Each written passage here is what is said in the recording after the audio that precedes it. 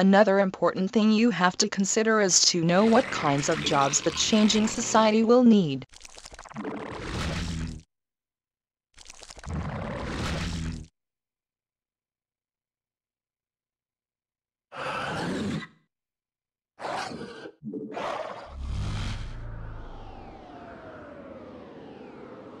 Think about the kinds of jobs which were needed a lot in the past but have almost disappeared now.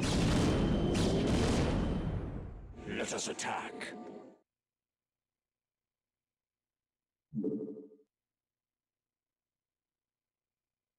Typing is such a job as more and more people use computers. The need for typists has almost disappeared. Raynor here. What's up? Howdy.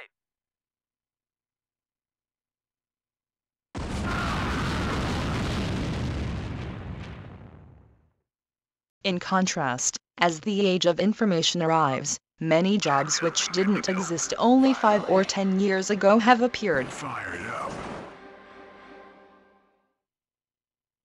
Data mining is an example. Of course, it is not easy to predict exactly what kinds of jobs will be needed in future. But just keep in mind how society is changing and try to take it into account when you're thinking about your future job.